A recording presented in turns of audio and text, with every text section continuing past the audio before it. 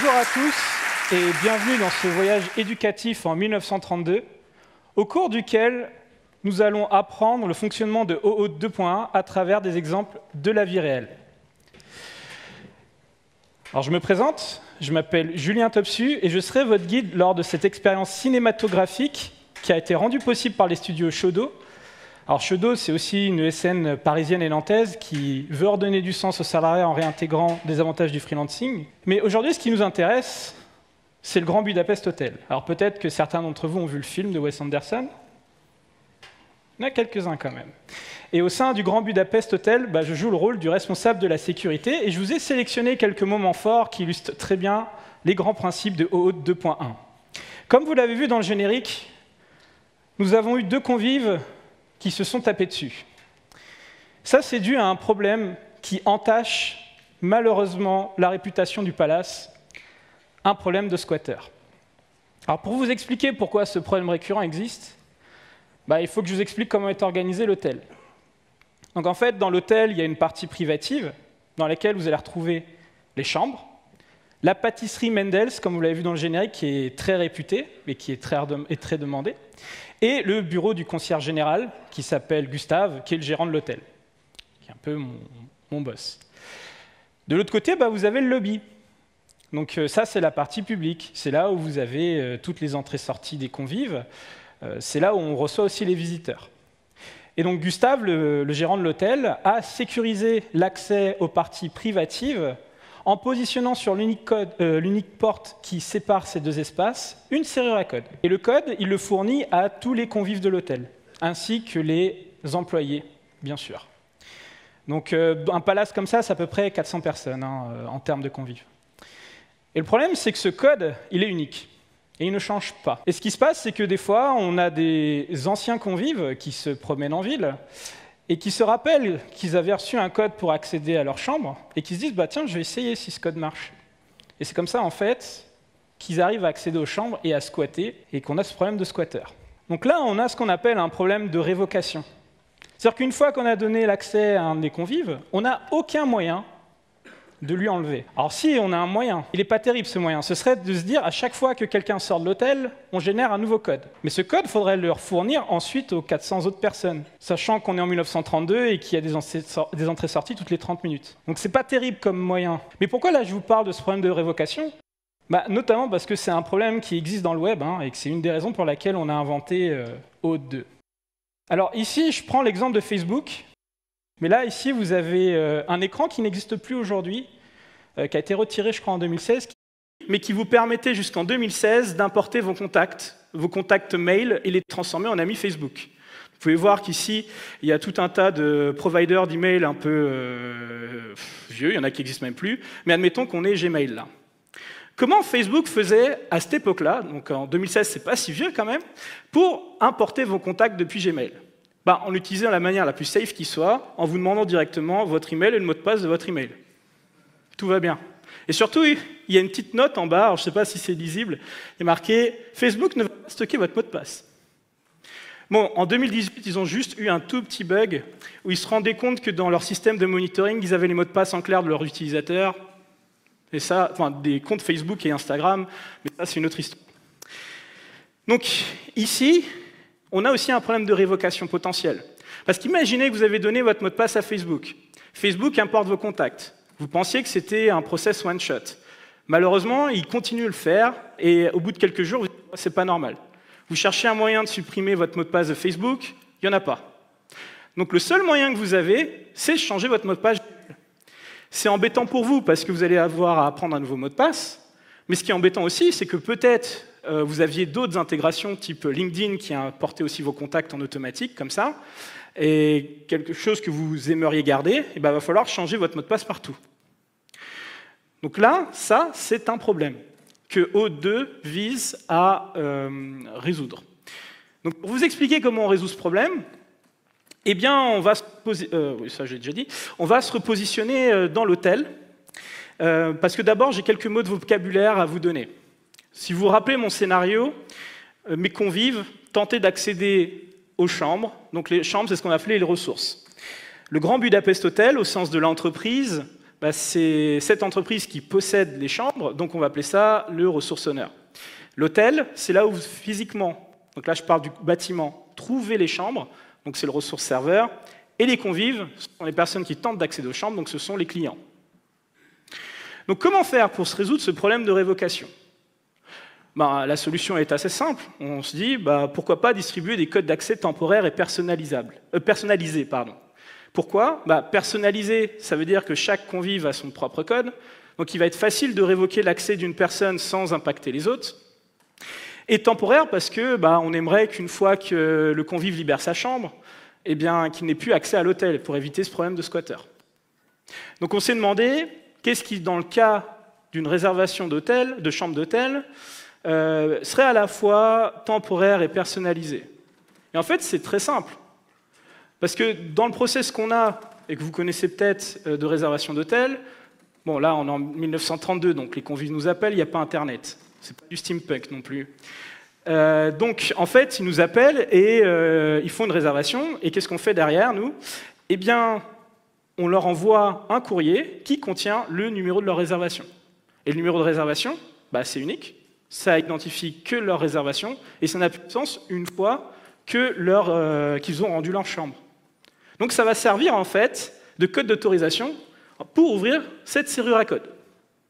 Et là, on n'a plus notre problème de révocation, parce que c'est facile, euh, vu que chacun a son, euh, son numéro de réservation, c'est facile de révoquer les accès euh, indépendamment les uns des autres. Petit mot de vocabulaire.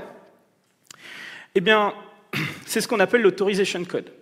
Alors j'ai récemment vu un commentaire sur mon talk qui disait grâce à ce talk maintenant, les gens ne peuvent plus squatter les, toilettes du McDo. Parce qu'effectivement, généralement, ils ne changent jamais leur code, mais bon, je dis, super comme analogie, j'y avais pas pensé. Alors, on vient de corriger un problème de sécurité. Malheureusement, vous allez voir que le Grand Budapest Hotel, c'est une véritable passoire. Je vous présente Dimitri, et Dimitri, c'est un des VIP de l'hôtel. Et un jour, euh, il vient voir Gustave, donc le manager, complètement furieux, parce que quelqu'un aurait détourné son ardoise. Alors, vous devez savoir que chez nous, nos VIP ont la capacité d'avoir des ardoises qui ne vont pas payer tout de suite, qui même ne vont pas forcément payer une fois qu'ils auraient euh, euh, libéré leur chambre, parce qu'ils viennent souvent. Et là, Dimitri s'est rendu compte que quelqu'un avait fait une grosse commande de pâtisserie sur son ardoise sans son consentement. Donc, on s'est demandé d'où ça venait, et après quelques investigations, on s'est rendu compte que c'était dû à un nouveau service qu'on offrait en fait à nos convives. Comme je vous l'ai expliqué, nos pâtisseries sont vraiment, vraiment très demandées. Donc on s'est dit, pourquoi pas offrir un, nouveau service à nos VIP, et lorsqu'ils sont en bas des pistes de ski, eh ben, ils peuvent nous appeler pour qu'on vienne leur livrer une pâtisserie. Le truc, c'est que livraison de repas, c'est pas trop notre cœur de métier. Donc on a fait un partenariat avec un prestataire spécialisé qui s'appelle Robert Hitz. Alors, tout jeu de mots avec euh, une figure du Parti communiste des années 90 sera peut-être fait exprès. Et euh, bah, désolé pour ceux qui ne connaissent pas, mais c'est pas grave. Euh, donc en fait, c'est eux qui se chargent de faire la livraison de repas. Mais comment on fonctionnait avec eux? On avait très naïf en fait. Hein. Là, Dimitri, lorsqu'il désirait se faire livrer, il appelait Robert en disant je commander. Mais comme Robert derrière, devait s'assurer que Dimitri avait bien une ardoise au sein du Grand Budapest Hotel, ce qu'il faisait derrière, c'était euh, bah, donne-moi ton numéro de compte, ton mot de passe, super, comme ça je vais pouvoir vérifier, etc., et faire toutes les manips pour toi. Et c'était OK pour tout le monde à ce moment-là de le faire. Et ça a été le cas du web pendant très longtemps. Malheureusement, ce jour-là, eh bien, chez Robert Dimitri est tombé sur un employé malveillant.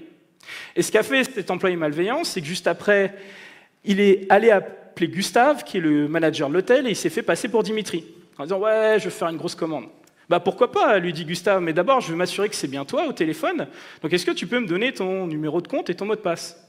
Bah, Malheureusement, là, l'employé malveillant vient de les voler à Dimitri, il les donne à Gustave, et Gustave se fait avoir. Il n'a aucun moyen de vérifier que ce n'était pas réellement Uli euh, au bout du téléphone. Donc, à chaque fois que vous allez donner votre mot de passe à quelqu'un, vous risquez un problème d'imposture et d'usurpation d'identité. Donc, il ne faut jamais faire ça. Donc, comment on va faire pour éviter ce problème?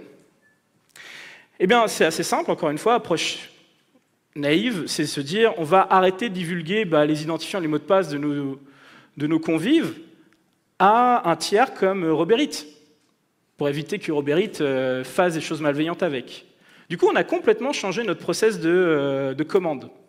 Maintenant, Dimitri, quand il veut commander une pâtisserie, on lui a dit plus jamais tu files ton mot de passe à Roberit. Et pareil, on a demandé aux gens de Roberit de ne plus jamais demander les mots de passe de nos convives. Mais là, ils vont être face à un problème. C'est qu'ils ne connaissent pas Dimitri. Ils ne savent pas si c'est réellement un VIP de l'hôtel. Donc, le seul moyen qu'ils ont pour vérifier ça, alors qu'ils ne peuvent plus accéder directement à son compte, eh bien, c'est de faire appel à Gustave. Gustave, le manager. C'est quelqu'un dont ils qu'ils ne connaissent, dont ils ont confiance, parce que c'est avec lui qu'ils ont un contrat. Euh, c'est Gustave qui a fait le contrat avec euh, Robert.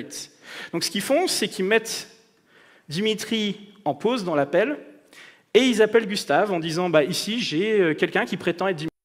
Tu peux vérifier que c'est bien lui et me confirmer qu'il a bien une ardoise au sein du Grand Budapest Hotel Et bah, on est en 1932, on n'affiche pas les numéros de rappel, donc euh, rappelle-moi ce numéro-là. Donc il déclare le numéro.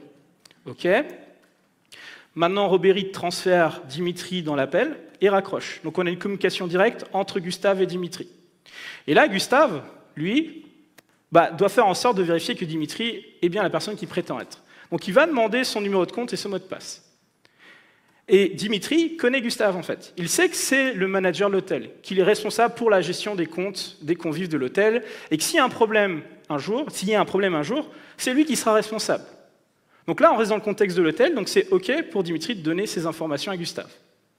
Gustave va pouvoir vérifier que c'est bien lui, va le mettre en pause, rappeler Robérit au numéro qu'ils ont spécifié pour confirmer en fait, fait que c'est bien Dimitri et qu'il a une ardoise. Ce mécanisme-là, c'est ce qu'on appelle l'authentification par tiers. On a deux protagonistes qui doivent travailler ensemble mais qui ne se connaissent pas et dont ils ne se font pas confiance. Et pour pouvoir travailler ensemble, ils vont devoir faire appel à un tiers de confiance qui est dans ce scénario Gustave. Donc Gustave, il vient d'avoir un nouveau rôle celui de l'Authorization Server. Donc ce rôle, c'est d'authentifier et protéger le end-user qui est Dimitri. Pourquoi il le protège? Parce qu'en fait, dans ce scénario, Dimitri, ici, donne son mot de passe que dans le contexte de l'hôtel. Hein. N'a jamais accès à ce mot de passe. Et il est aussi là pour confirmer les accès du end-user auprès de Roberit, notamment le fait que bah, c'est bien VIP et qu'il a une ardoise au sein du Grand Budapest Hotel. Mais bon, là, on n'a pas fini notre process, parce que le but, c'est quand même d'aller euh, chercher la, pâtisserie, hein, pour lui faire une livraison de pâtisserie. Et la pâtisserie, elle est dans la pâtisserie, super le français, donc euh, il y a le bâtiment et il y a le gâteau. Donc euh, le bâtiment est derrière, enfin le bâtiment, c'est pas un bâtiment puisque c'est dans l'hôtel, mais bon, vous m'avez compris. donc la pâtisserie, la boutique, et derrière cette serrure à code. Donc en fait, ce que va faire Gustave, c'est qu'en rappelant Robérit, il va donner un numéro de commande en plus, qui va faire office d'autorization code, qui va permettre au coursier de Roberit eh bien, d'ouvrir cette serrure à code. Pareil, numéro de commande, c'est unique, c'est temporaire, donc ça marche très bien. Donc, il repasse Dimitri à Roberit, il raccroche, Roberit demande ce que veut Dimitri, un court sens, la pâtisserie, et avec ces informations, ils vont pouvoir eh bien, dépêcher un coursier avec le numéro de commande pour ouvrir cette serrure à code et aller chercher la pâtisserie pour faire la livraison. Alors, ce qui est intéressant de savoir ici aussi, c'est que ce numéro de commande, il va avoir une durée de vie assez courte. Imaginons dans ce scénario une heure. Si le coursier n'utilise pas ce numéro de commande sur la serrure à code après une heure, enfin dans les une heure, il va expirer. Il ne pourra plus ouvrir la porte pour des raisons de sécurité, parce qu'on ne sera plus sûr que Dimitri euh, veuille toujours de cette, euh, euh, de cette pâtisserie, et on ne sait pas pourquoi il aurait mis autant de temps, ce coursier, pour aller la chercher. Donc ça veut dire que là, si le coursier veut pouvoir avoir accès à la pâtisserie, eh bien, il va falloir faire tout le process encore avec Dimitri, depuis le départ, l'authentifier, etc., etc. Donc, le rôle de l'Authorization Server, c'est de distribuer des accès temporaires, les Authorization Codes, aux third parties. Donc, pour euh, résumer là ce qu'on vient de voir, et en replaçant les mots de vocabulaire. Donc, les ardoises et pâtisseries, c'est ce qu'on tente d'accéder dans ce scénario, ce sont les ressources. Dimitri, c'est le ressourceur, parce que c'est à lui qu'appartiennent l'ardoise et les pâtisseries, mais c'est aussi le end-user. Le end-user, c'est la personne qui commandite, en fait, enfin, qui demande qu'on lui rende un service. Des fois, ces deux personnes ne sont pas les mêmes. Bon, ici, en l'occurrence, c'est la même personne. L'hôtel, c'est toujours le ressource serveur, le numéro de commande, l'authorization code, Gustave, l'authorization server, et là, on a Roberit qui est le client. Alors pourquoi Roberit est le client et pourquoi ce n'est pas Dimitri? Parce qu'en fait, dans la définition de ce qu'est un client et un user, en fait, il euh, faut savoir que par exemple Dimitri, il pourrait prendre ses jambes et aller directement à la pâtisserie, euh, commander sa pâtisserie. Mais ce n'est pas ce qu'il veut en fait.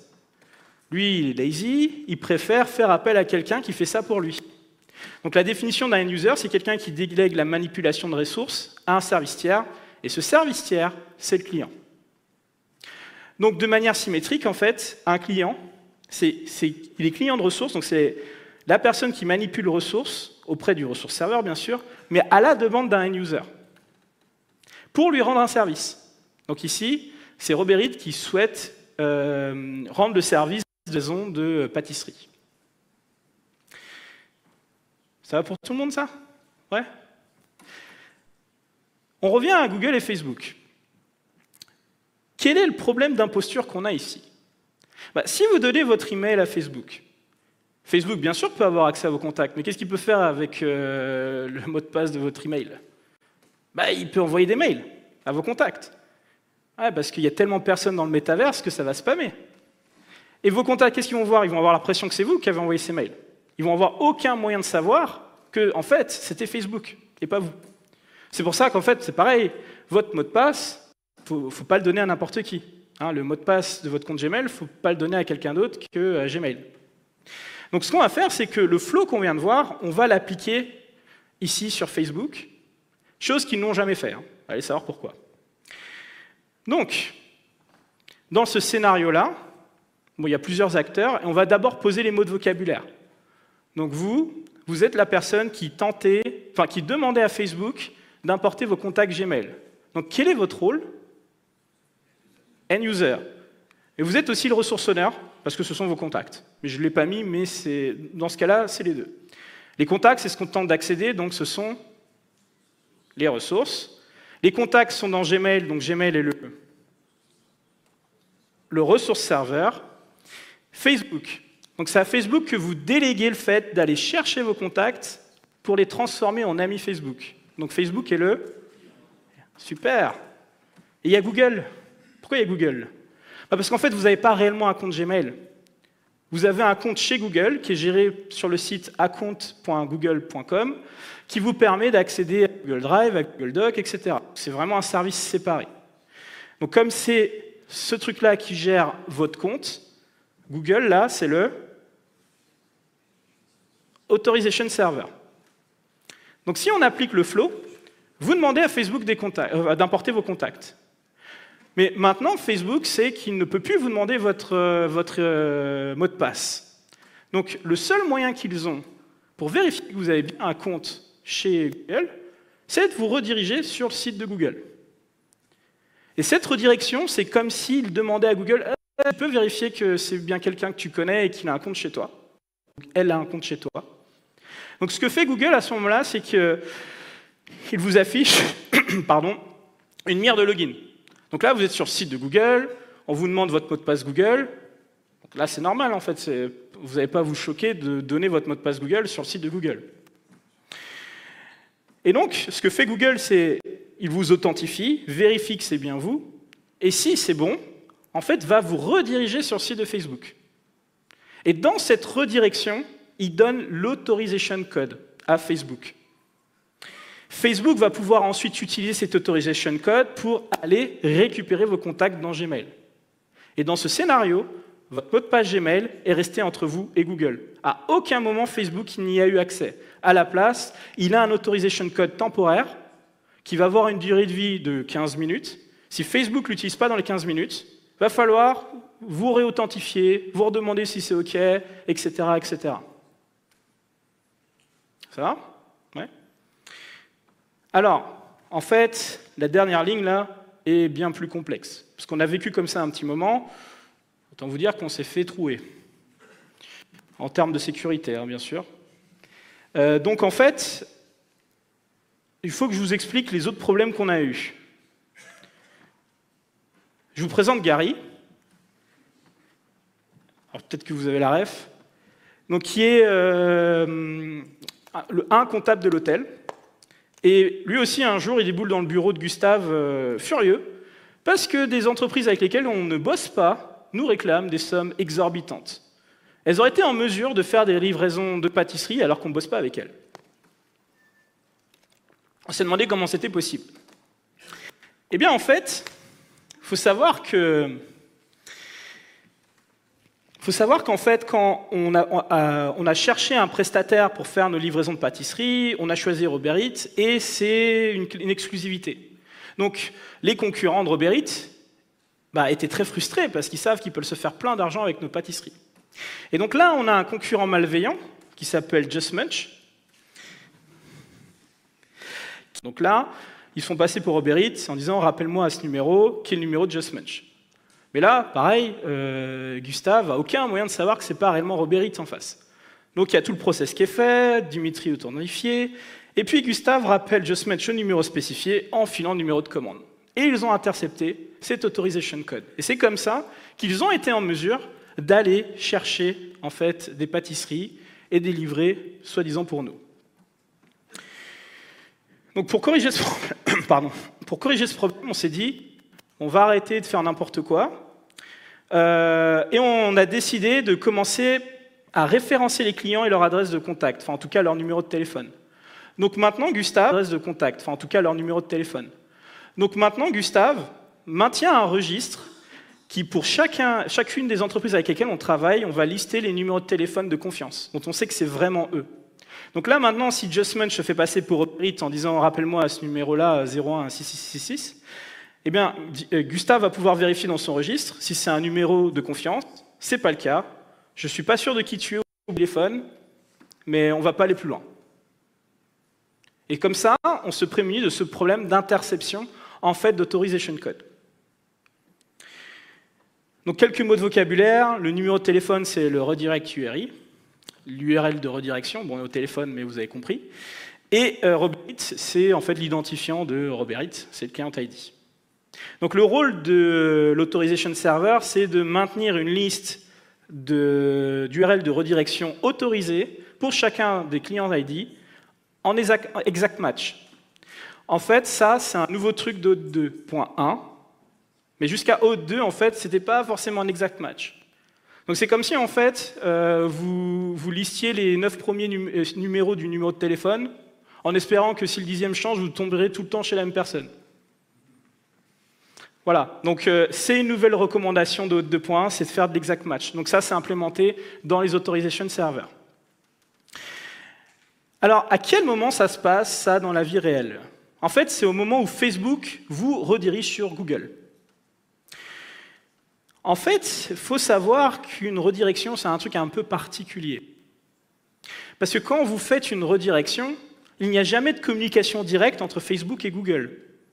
Facebook envoie un ordre à votre navigateur pour dire redirige-moi l'utilisateur, l'utilisatrice sur le site de Google, et le navigateur vous redirige sur Google. Ce qui fait que Google ne sait pas d'où vous venez, en fait. Il ne sait pas que vous étiez sur le site de Facebook. Donc vous, physiquement, c'est ce que vous voyez. Alors si vous demandez pourquoi il y a Miro, c'est parce que comme ils n'ont jamais fait l'intégration avec Facebook, bah, je l'ai simulé avec Miro, mais vous pouvez remplacer Miro par Facebook, c'est la même chose. Donc vous êtes sur le site de Google, là, accounts.google.com, et une belle mire de login ici. Alors comment Google va faire, une fois qu'il va vous authentifier, pour savoir où vous redirigez? Eh bien, Facebook va placer des informations pour qu'il ait connaissance de cela. Mais le seul moyen que vous avez pour placer l'information, enfin pour donner de l'information sur une redirection, c'est dans les URL. Donc dans les URL, il va placer deux informations importantes. Le client ID, admettons que c'est celui de Facebook, qui permet de dire à Google, en fait, là, c'est Facebook qui, essaye de te contacter pour authentifier quelqu'un pour lui. Et l'URL de redirection, parce qu'effectivement, l'utilisateur pouvait être sur n'importe quelle page de Facebook, et euh, bah, et ben, en fait, euh, ce serait complètement très embêtant de toujours rediriger sur la même page. Mais, donc ça, c'est comme ça, c'est comme ça que ça fonctionne. Mais le problème, c'est que vous voyez là, en un screenshot, on est tous capables, et toutes capables, et bien de reproduire cette requête. Donc si moi, je suis quelqu'un de malveillant, je fais un site malveillant, je mets cette redirection dans mon site. Donc là, vous arrivez, etc. Au bout d'un moment, je vous dis, hey, log-toi avec Google, super, vous faites ça, vous arrivez sur le site de Google, mais Google, si j'utilise le client ID de Facebook, il va croire que j'étais Facebook. Donc il va faire tout le process, il va créer un authorization code en pensant le donner à Facebook. Et puis moi, je mets une redirect URI qui est mon adresse, et lui, il voit rien, et moi, j'ai récupéré un authorization code qui n'était pas pour moi. C'est ça qui est un exact match sur le redirect URI. Hein, pour vous expliquer pourquoi c'était un problème de fonctionner comme ça. Donc ça, c'est ce qui se passe dans la vie réelle, et c'est comme ça qu'on a fixé ce problème. Bon, malheureusement, c'est pas suffisant. Là, on a encore une fois un problème. Bah, il s'avère qu'on euh, a encore un problème de squatter. On pensait que c'était plus possible. Après quelques investigations, il s'avère que les deux personnes ont exactement le même numéro de réservation.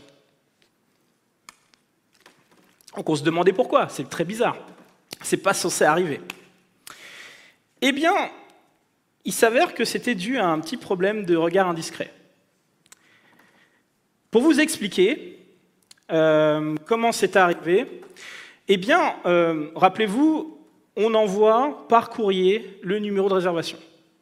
Et le problème d'un courrier, c'est que vous ne pouvez jamais savoir si votre destinataire a reçu votre courrier. sauf si vous faites l'accusé de réception, mais là, admettons qu'on n'en fasse pas. Donc un courrier, bah, il peut se perdre en fait en chemin. Hein, le facteur le perd, le met dans la mauvaise boîte aux lettres, donc vous ne pouvez pas être sûr que votre destinataire l'a reçu. Mais il y a un autre truc dont vous ne pouvez pas être sûr vis-à-vis -vis du courrier, c'est que personne ne l'a intercepté. C'est-à-dire le facteur aurait pu lire le courrier avant de le mettre dans la boîte aux lettres, et ça, vous, jamais personne ne le saura.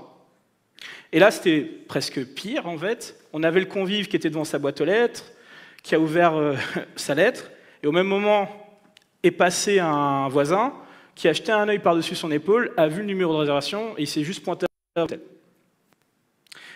Donc ça veut dire qu'en fait, un envoi de courrier, c'est ce qu'on appelle un front channel. Un channel, c'est un canal de communication dont vous ne pouvez pas être sûr qu'il a, atteint déjà votre destinataire, l'information a atteint le, destinataire et qu'elle n'a pas été interceptée. Donc le problème d'un front channel, c'est que vous ne pouvez pas échanger eh d'accès dessus. C'est trop dangereux puisque c'est interceptable. Donc on a dû encore une fois changer tout notre process. Et on s'est dit, bon, bah, les accès, c'est quelque chose de trop important, on va les remettre en main propre pour être sûr qu'on les a donnés à Dimitri. Et là, vous allez voir, le process bah, ressemble beaucoup à ce que vous connaissez toutes et tous quand vous allez euh, euh, chercher votre chambre d'hôtel dans un hôtel. Alors déjà, on va dégager cette serrure à code, on va mettre une serrure à badge avec des cartes. Et là, maintenant, Dimitri, quand il veut aller chercher, euh, enfin, il ne peut plus utiliser directement le code pour ouvrir la porte, il va devoir aller à la réception, voir aller notamment Gustave, avec son numéro de réservation. Si le numéro de réservation existe, en fait, bah, qu'est-ce que fait Gustave? Je lui donne une carte. Et c'est cette carte-là qui permet d'ouvrir la chambre d'hôtel. Donc le truc, c'est que cette carte, il la remet en main propre. Donc il est sûr, en fait, que c'est Dimitri qui l'a en main, et personne d'autre, et que personne ne l'a chopé au vol. C'est pour ça que cette remise en main propre, c'est ce qu'on appelle le back channel. Alors du coup, le numéro de réservation, il n'a qu'un seul but, c'est d'être échangé contre cette carte. Le numéro de réservation, c'est toujours l'autorization code.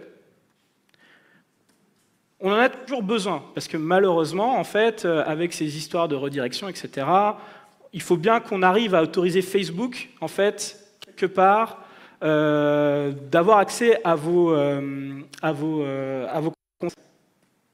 Mais comme c'est échangé sur le front channel, on ne peut pas l'utiliser directement. On va plutôt utiliser ce qu'on appelle l'access token.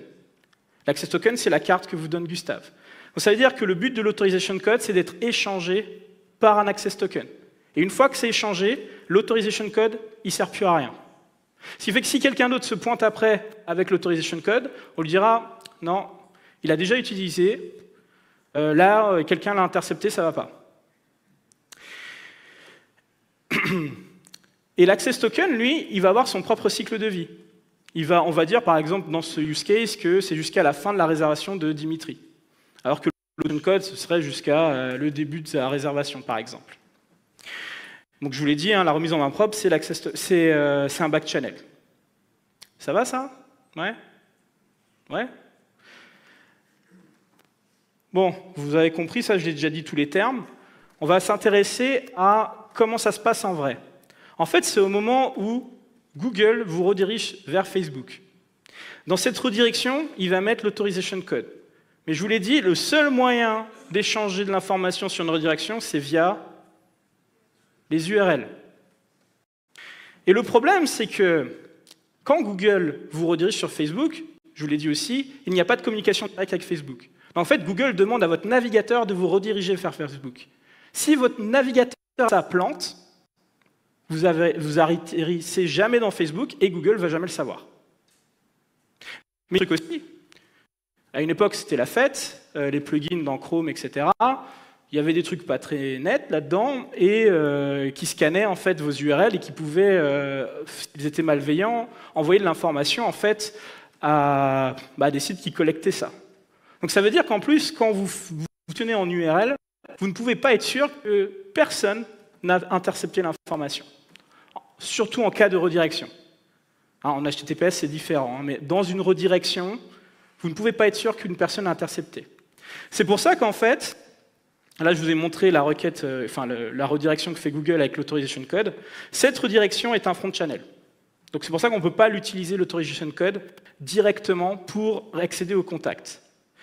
Mais Facebook va lire cette authorization code de l'URL et va faire une connexion directe avec Google en HTTPS.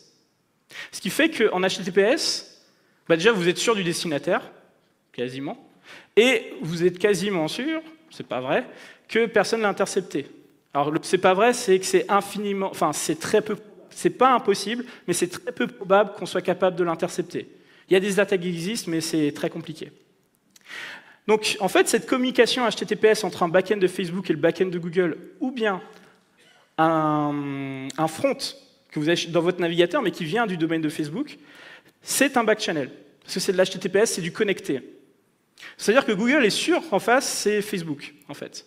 Donc ce qu'il va faire, c'est... Enfin, c'est pas vrai, c'est pas du mutual authentication, mais en fait, sûr qu'il va répondre à la bonne personne d'une certaine manière. Et là, c'est là où il va fournir l'access token en échange. Et c'est cet access token que Facebook va utiliser pour pouvoir accéder, en fait, à Gmail. Donc là, encore une fois, l'autorization code n'est utile que pour faire cet échange, qui est lui plus sécurisé. Parce que le seul moyen qu'on avait, c'était de faire la redirection pour éviter que Google ait votre euh, Facebook ait votre mot de passe Google. Et une fois qu'on est sorti de ce mode, en fait, on passe à un mode où, si tu veux vraiment les accès, là, on fait une communication directe. L'autorization code a toujours une, une, vie courte, ça peut être 15 minutes en vrai, et s'il expire, il faut tout réauthentifier. Une fois qu'il est utilisé, il est plus utilisable, et ça veut dire que vous avez un access token. Et l'access token, lui, va avoir aussi potentiellement 15 minutes d'utilisation.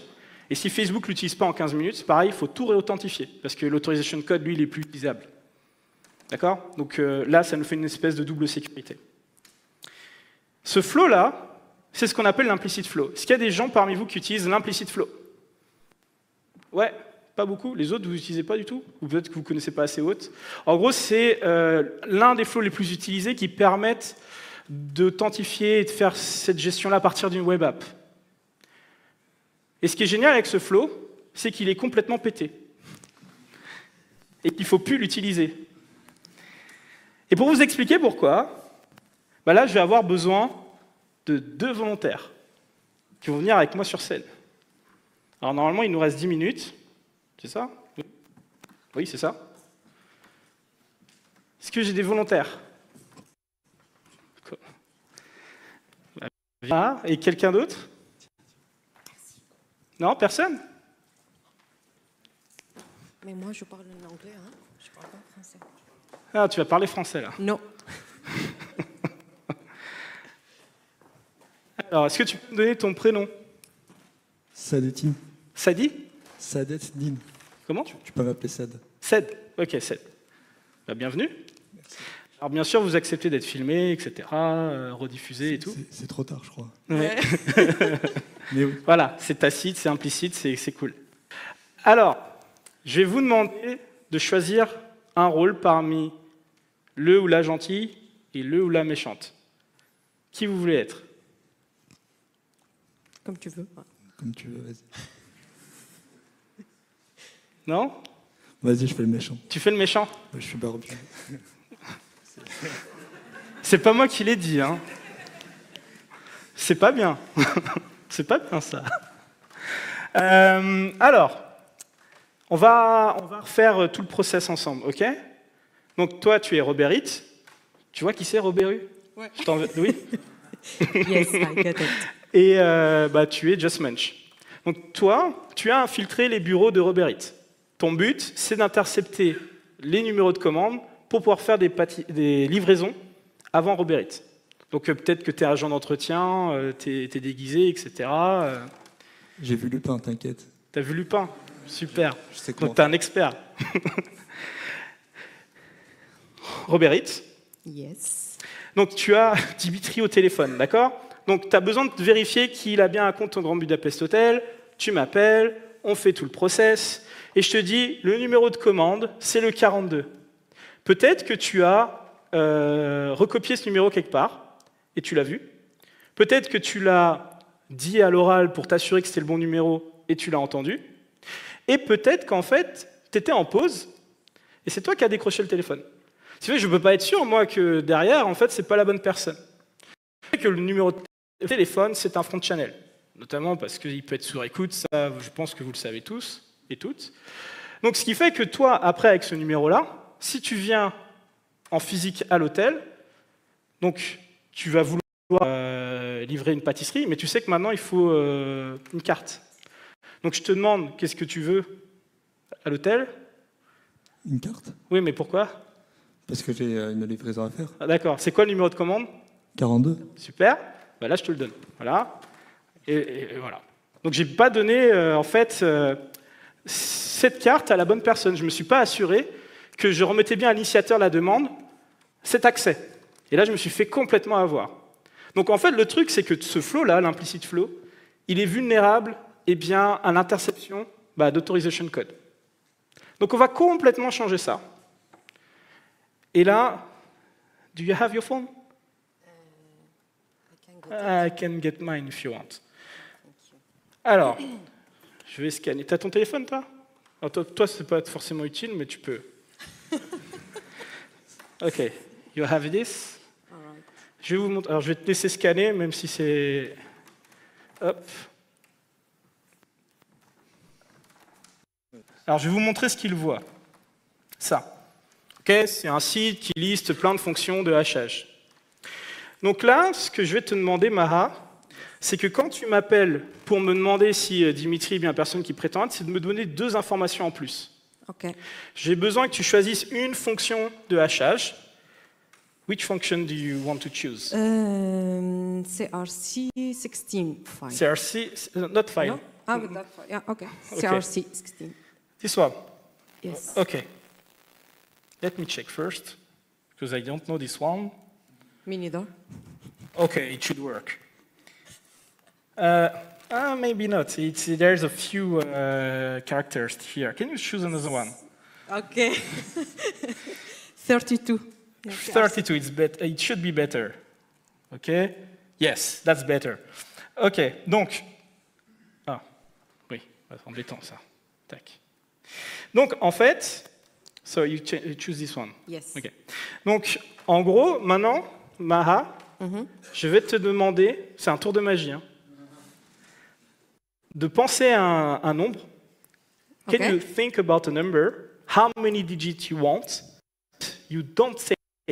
OK. Donc, tu penses à un nombre et surtout, tu le dis à personne. OK. You have it? Yes.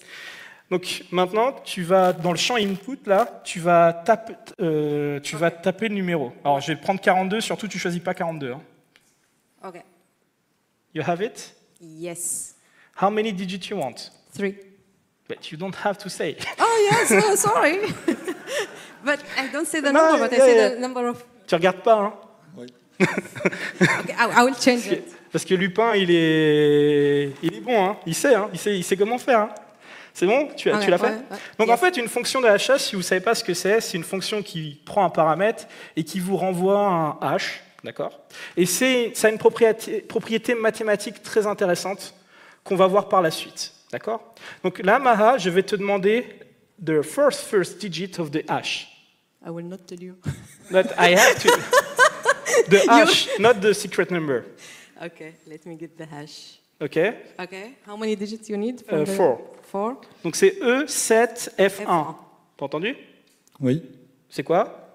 E, 7, F1, Et c'était quoi le- la fonction de hash CR32. CRC32, effectivement. Donc tu as ces informations-là. Donc tu me donnes tout ça. Moi, je te dis le numéro de commande 32. Ouais. Et c'est toi qui viens à l'hôtel. OK? Donc je te demande le numéro de commande. C'est le combien? 42. Super. Et là, maintenant que tu es face à moi, je vais te demander que tu me révèles eh bien, ton, le numéro euh, secret auquel tu as pensé quand tu m'as appelé tout à l'heure. C'est. euh, J'ai oublié. C'est, euh, je sais plus, 7, F1 à la fin. Non, non, non, ça c'est le H. Ah, le numéro, du coup, je le connais pas. Bah oui, mais t'es pas censé me le dire. Tu t'essayes de. T'es Lupin Ah. ou quoi Euh, 4. 4 et demi. 4 et demi Et une fois, il y a quelqu'un qui m'a dit Robert. Je, bah, c'est pas un nombre. Bah, 4 et demi, ça marche, mais tu vois, en fait, c'est, je vois 80, 97, c'est pas ça. T'en as un Ouais. autre 1. Juste un Elle a dit 3 digits, pas d'effort. Hein. Ah, 100, 100, 134. 134. non, tu vois, ça ne matche pas. Là, on voit bien que c'est euh, 0F37. Donc là, je suis sûr que c'était pas toi, en fait, qui m'a appelé tout à l'heure. Donc je peux appeler la sécurité et de sortir et essayer de me hacker. Voilà. Tu es méchant. Bon, maintenant, Mara, toi, tu viens à l'hôtel. Tu veux récupérer euh, la pâtisserie. Je te demande ton numéro euh, secret, là. Ouais. C'est 4, 4, 4. C'est pas 444. C'est- Ah, c'est 4 x 4, d'accord. C'est 4, 4, 4, ça fait 3, 4. D'accord. Et là, je vois que c'est E E7F1. Heureusement, parce que sinon, la démo... euh, Donc là, en fait, comme tu es la seule personne qui est censée connaître ce numéro, je suis sûr que c'est toi, en fait, qui, qui au téléphone, et je peux te remettre la carte d'accès, et comme ça, je ne me fais pas avoir. Bah, vous pouvez les applaudir. Merci pour votre participation.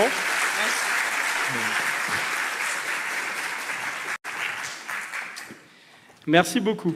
En fait, peut-être que c'est un, mécanisme que vous connaissez un peu, euh, notamment si vous avez déjà fait des commandes sur euh, des sites comme Amazon. Des fois, ils vous fournissent un code et ils vous disent surtout ne le communiquez pas par mail ou etc. Vous le donnez de visu en fait au livreur parce que le livreur, ça lui permet de savoir que vous êtes la bonne personne à qui remettre le colis. Il ne va pas dire ah je m'appelle Julien ah bah tiens ouais bah, c'était bon. Ce numéro, lui, il ne le connaît pas à l'avance, il a une appli, il le rentre, etc. C'est les mêmes mécanismes, en fait. C'est le même mécanisme. Donc, une fonction de hachage, ça a une particularité. C'est f de x égale y, mais il est très difficile mathématiquement de retrouver le x à partir du y. C'est pour cela qu'on fonctionne sur une fonction de hachage. Alors, quelques mots de vocabulaire. f, la fonction de hachage, dans le monde haute, ça s'appelle le code challenge method. Le, x, pardon, qui est le numéro secret, c'est le code verifier. Et le y, c'est le code challenge.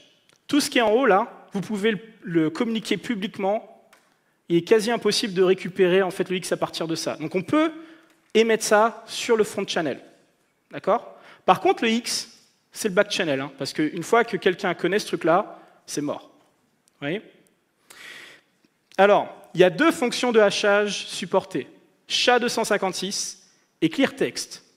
Autant vous dire, faites pas de clear-text. Parce que clear-text, c'est-à-dire que f de x égale x, hein, en gros. Donc, euh, alors, je ne sais pas pourquoi ils l'ont laissé dans la norme, mais c'était sûrement pour faire des tests.